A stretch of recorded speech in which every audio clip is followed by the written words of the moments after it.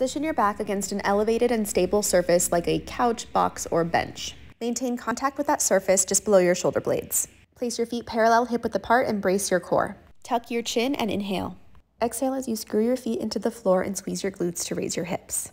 At the top of the move, your shin should be parallel and your pelvis slightly tucked. Glutes and core engaged and ribs down. Inhale as you lower your hips to the starting position with control. Do not lift so high that you have to arch your back.